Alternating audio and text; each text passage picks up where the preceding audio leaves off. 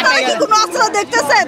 দেখতেছেন না। ছাত্রলীগরা অস্ত্র নিয়ে বসে আছে। শেখ হাসিনা সবার ভিতরে পাইলো কই? এটাই অস্ত্র? আমাদের দাবি। ওরা অস্ত্রটা পিস্তল পাইলো কই ভাই? ছুরি ওরা এত কিছু পাইলো কোন জায়গায় আল্লাহ করে পরিস্থিতির ওটা দেখাইলাম যে ওদের এত বড় বড় অস্ত্র বড় বড় পিস্তল।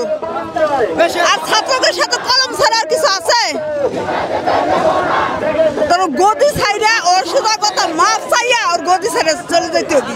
ওরে আমাদের দরকার নাই। আমরা জনগণরা চাই আমাদের প্রশাসনের সামনে ছাত্রলীগের বলাবাইন বুলেট পড়তেছে আর ছা- ছাত্ররা গুলি করতেছে। কেন করতেছে? প্রশাসন কিছু বলতেছে না কেন? প্রশাসনের সামনে গুলি করতেছে। আমরা এই সরকার চাই না ওর পদত্যাগ চাই। আমাদের স্টুডেন্টদের শুধু দাবি একটা শুধু স্টুডেন্ট না সাধারণ মানুষ সবার দাবি শুধু একটাই আমরা খুনি হাসিনার পদত্যাগ চাই খুনি হাসিনার পদত্যাগ আমরা তাছাড়া আর কিচ্ছু চাই না। আমরা এখনই চাই যে ওর পদত্যাগ করুক। আমরা ওর পদত্যাগ দেখতে চাই চাই। আমরা কি ওর পদত্যাগ দেখতে চাই? না। পদত্যাগ দেখতে চাই না। আমাদের কত ভাইয়ের রক্ত ঝরছে কত ভাই মারা গেছে আমরা এগুলো কেন যাব? এগুলো আমরা কেন দেখতে যাব? আমরা তো সুন্দর শাস্ত্রীয়ভাবে আমরা আমরা আন্দোলন করছি আমরা শুধু কিসের জন্য আন্দোলন করছি? শুধু কোটার জন্য। কেন এগুলো বলো? কেন আওয়ামী লীগের পোলাপান ছাত্রলীগের পোলাপান কেন ওরা আমাদেরকে তাড়িয়ে দিল? আমাদের ভাই বোনরা কেন মরলো? সাইদ ভাই রাফি ভাই তন্নি আপু কেন মরলো?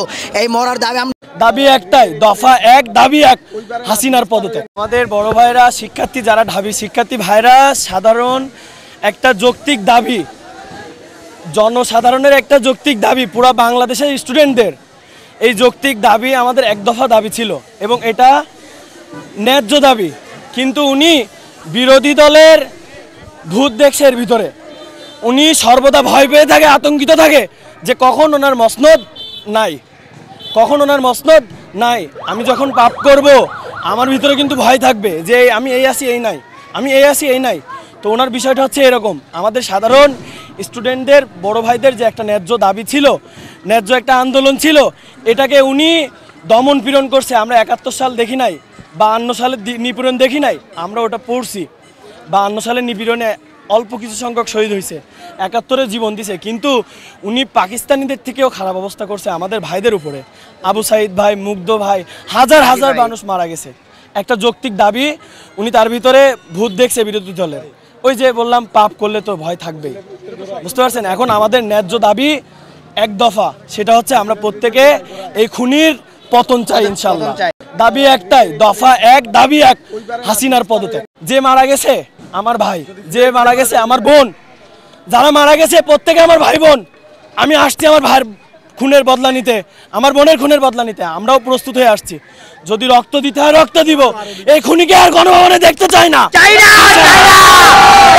দেখতে চাই না।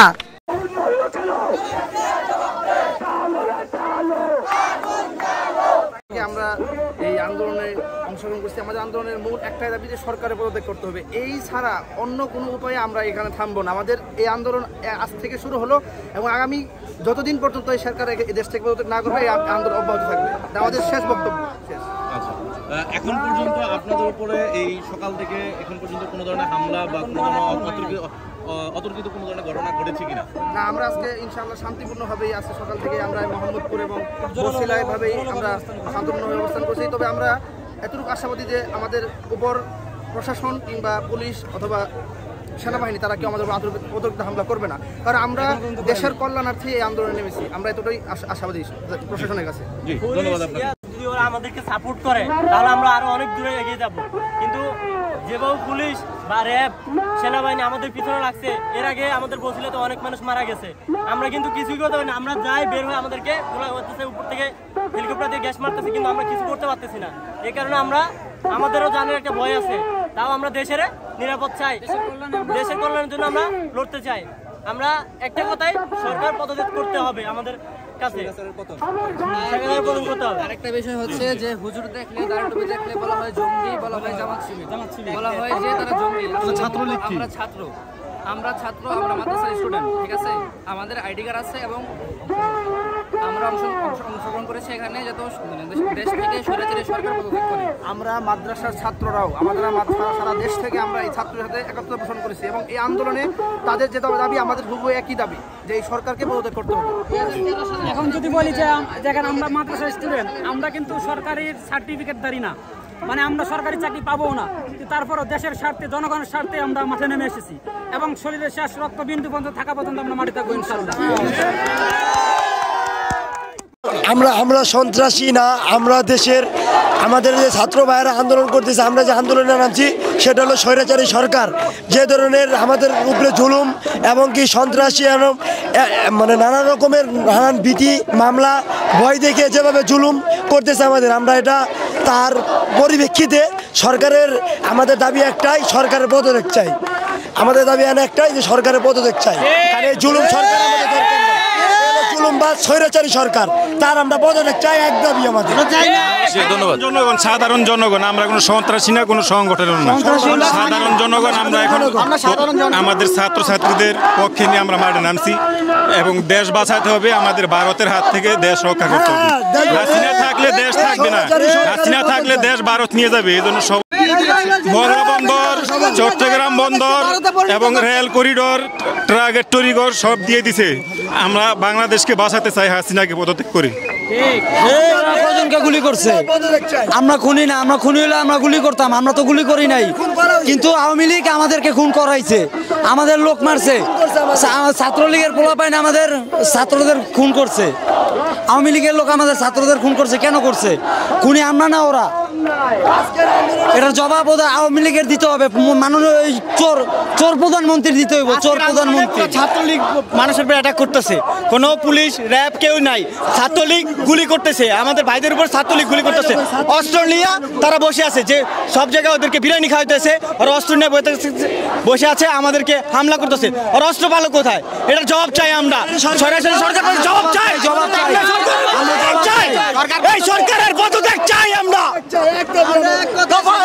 আমাদের ভাইরা মূল্য কেন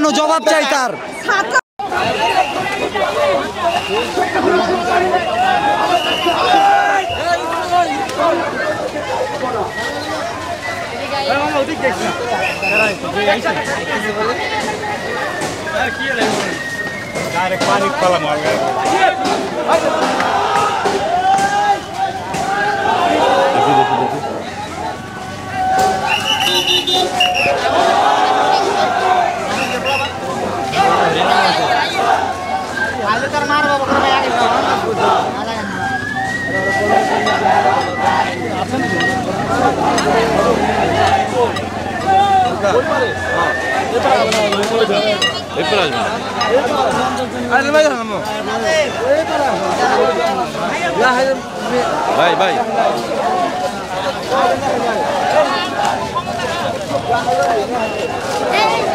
এ বাবা চলে আসো চলে আসো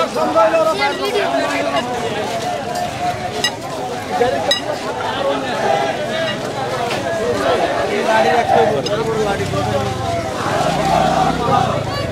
দর্শক, আপনারা দেখছিলেন এই মুহূর্তে বসিলা ব্রিজের সামনের যে জায়গাটিতে এখানে সাধারণ শিক্ষার্থীদের সঙ্গে ছাত্র জনতারা এই মুহূর্তে রাজপথে নেমে এসছে এবং তাদের যে অসহযোগ আন্দোলন কর্মসূচি সে অসহযোগ আন্দোলন কর্মসূচি পালন করছে এবং সেখানে সাধারণ শিক্ষার্থীদের সঙ্গে এলাকাবাসী, ছাত্র জনতা, অভিভাবক এবং যারা মা এবং বোনেরা রয়েছেন, তারাও কিন্তু নেমে এসছেন এবং ছাত্রদের সাথে একত্রতা প্রকাশ করছেন এবং যারা এখানে রয়েছেন, তাদের কাছে একটি অভিযোগ আসছে যে সরকারের যে রাজনৈতিক সংগঠন রয়েছে আওয়ামী লীগ, ছাত্রলীগ এবং যুবলীগ সহ বিভিন্ন। তারা হচ্ছে তাদের উপরে অতর্কিত হামলা করছে দফায় দফায় এবং তাদের হাতে কেন অস্ত্র দেওয়া হলো এবং তারা কোথায় অস্ত্র পেল এমন প্রশ্ন রেখেছেন আইন শৃঙ্খলা বাহিনীর কাছে। এবং তারা শান্তিপূর্ণ আন্দোলন কর্মসূচি এবং অসহযোগ আন্দোলনে তাদের একটাই দাবি, এক দফা, এক দাবি, সরকারের পদত্যাগ। অর্থাৎ তাদের এই সরকারের পদত্যাগ না হওয়া পর্যন্ত তাদের অসহযোগ আন্দোলন কর্মসূচি চলমান থাকবে।